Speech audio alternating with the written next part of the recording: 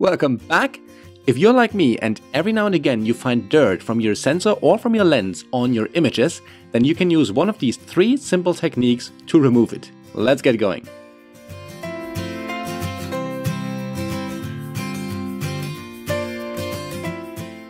The first way I'm going to show you is also by far the easiest.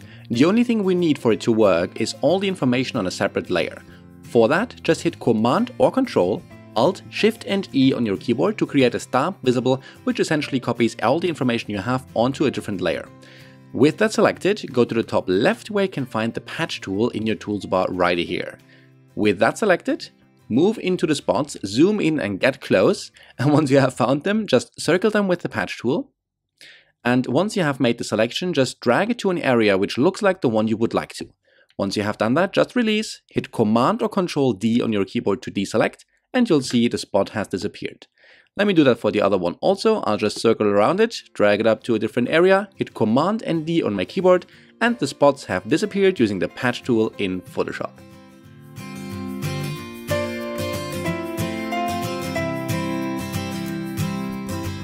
The second good way to remove spots from your image is, instead of using the patch tool, to use the actual spot healing brush tool.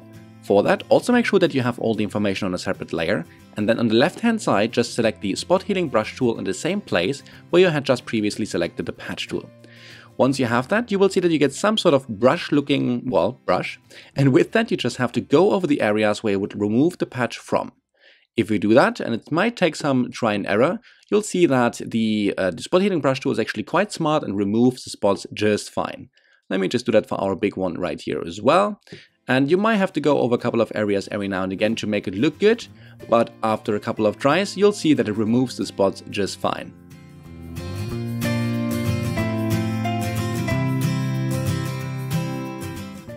The last technique I want to show you for today is the clone stamp tool. For that, there is no need to have all information on a separate layer, but you will require a new layer. Let's create, create one by hitting Command or Control, Alt, Shift and N on your keyboard, which will create a new layer right here. Go to the left hand side then, or hit S on your keyboard to select the clone stamp tool from the toolbar here. And then once you have that, you'll see that it looks like a brush, just like a brush.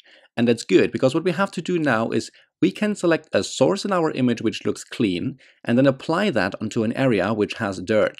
So for instance, if I were to decide that that area here looks relatively clean, I can hold the Alt button on my keyboard and click, in which case I define that as my source and now I can transfer that to a different area of my image.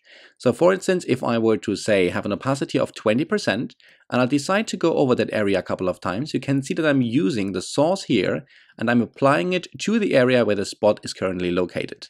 Now you might want to change targets every now and again, so you might want to adapt your source to make sure it blends nicely. So this is a technique which takes, which actually does take a little bit longer, but as I said, in more complex situations where the, the given tools which do everything automatically cannot help you anymore, this one is a very nice companion to just get rid of these kind of things if the background is a little bit more complex. All right. And if we, after just 20, 10 seconds or so, if I look at the before and after, I'm already quite good in getting, getting rid of the dots in my image. Now there we go, these were three simple techniques to get rid of dirt spots on your images. Remember, you can either use the patch tool,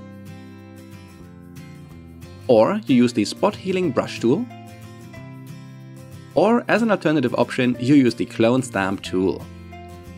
Alright guys, thank you very much for watching. If you did like the video, do not forget to hit that thumbs up button and also, if you're new, don't forget to subscribe, it's gonna help me out a lot. Other than that, I hope the tip was useful to at least some of you, and if you have any questions or comments, just drop them down in any comment section in either the blog or YouTube of course, and I am happy to get back to you as soon as I can. Other than that, have a good day, happy processing, and see you next time. Bye!